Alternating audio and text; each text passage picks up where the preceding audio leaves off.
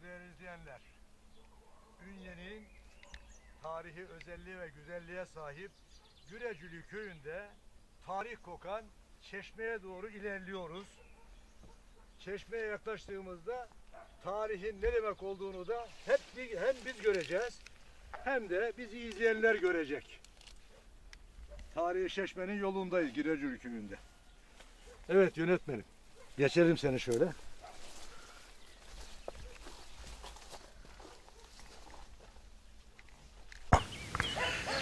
Saygıdeğer izleyenler, Ünye Merkez Gürecülü Köyü Kümevler mevkiindeyiz. Kümevler mevkiinde tarihi bir çeşme var. Bu tarihi çeşme var diyoruz. Var olduğunun kanıtını yörenin sakinlerinden Nalban Seyit Bilal Özalp söylüyor. Ve biz buradan bu konuya girmeden evvela mahallemizin çalışkan muhtarından bir beklentimiz var.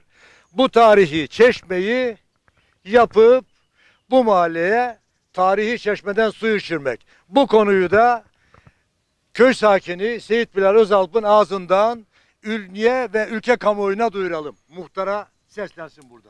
Şimdi burada eski Horasan'dan yapılma Rum çeşmesi vardı. Üzerine molozlar dökülmüş. Şu gördüğünüz bahçe yapılmış olan bölge normalde köy alanına ait boştu burası. Burayı bahçe yapmışlar. Burası Mera. Mera efendim burası yol. Burada da içine insanın bir kişinin rahatlıkla girebileceği kapağını açtığı zaman e, Horasan'dan yapılmış Rum yapımı bir çeşmemiz vardı. bizim. Resmen tarihi bir çeşme. Tabii tabii ki tabii ki. Efendim hatta e, külükle yani yukarıdan gelen su da şu peyin oradan yani duvar pey diyoruz biz e, Karadeniz şivesiyle Evet. şu duvarın oradan geliyor. Efendim e, kazıldığı zaman e, restorasyon yapıldığı zaman görülecektir zaten ki bunun üzerine moloz atılmış büyük bir ihtimal ki öyle Çeşmeyi görünüyor. göremiyoruz Sayın Şu Özalp. anda biz. Çeşme zaman içerisinde moloz dökülmüş. Moloz dökülmüş üzerine taş yığılmışlar. Taş O dökmüşler. zaman bizim de bildiğimiz, inandığımız ve çalışkanlığından kuşku duymadığımız Evet. muhtarımıza buradan Evet seslenebiliriz. sayın muhtarımız. Muhtar ve ihtiyar heyetine buyurun. Evet bu işte ilgilensinler. Ünye'nin tarihi bir e, dokusunu Ünye'ye tekrar kazandırsınlar diye düşünüyorum. Yani ve burası basit öyle şimdi göründüğü pislikten bu şekilde gözüküyor. E, şu taşlar zaten büyük. Bunlar alındığı zaman çeşme çıkacaktır ortaya. Çeşme çıkar fakat su kaynağı da buna el verir mi acaba?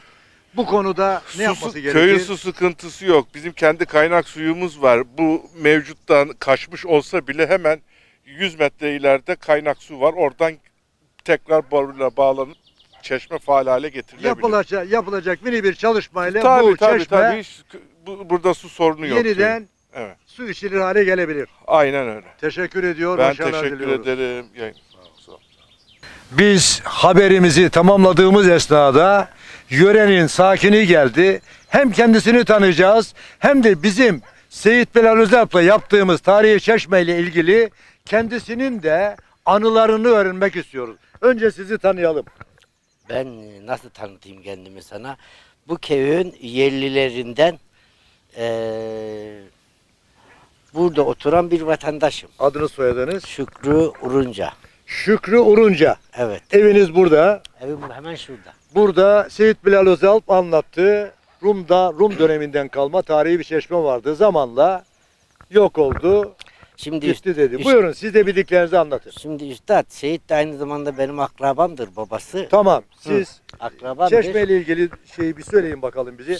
Şimdi buradan eee, çok üzerinden sular gelip geçti. Gelen bir gazma, giden bir valyoz vurdu, ezdi, geçti. Defineciler He. etmişler.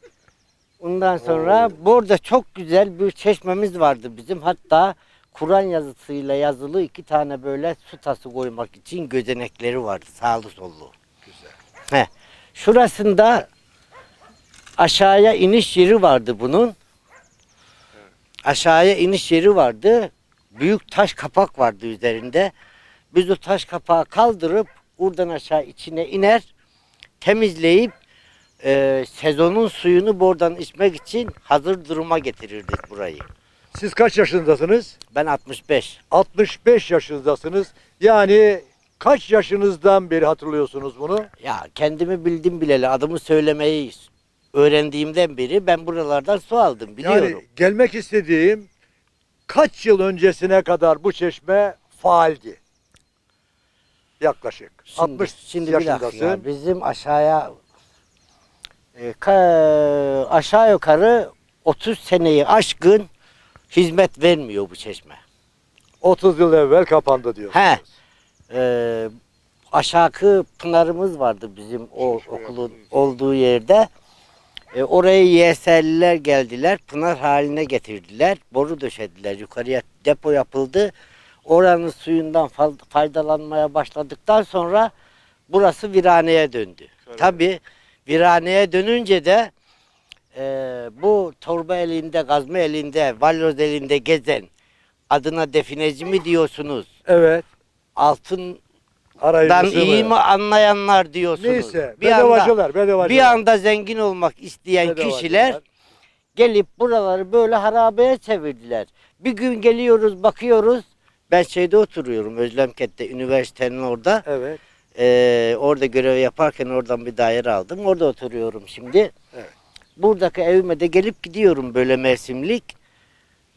Bir hafta geliyorum bakıyorum bir tarafı uçmuş. Bir hafta sonra geliyorum bakayım bir tarafına deprem olmuş derken bu güzelim çeşme bu hale geldi. Hatta buraları bırak bak şuralar bile şu yan taraflar aşağılara doğru burası bir harabeye döndü. Çeşme denilen bir varlık burada şu anda yok. Yok. Bunu canlandırmak için neler yapılması gerekir ki ama tarih üzerine hani öyle bir şey yapılmaya kalkışmış olunsa tarih üzerine şurası şöyleydi boyu uzundu kulağı kısaydı belki Eski haline döndürülebilir. Yapılabilir. Varmış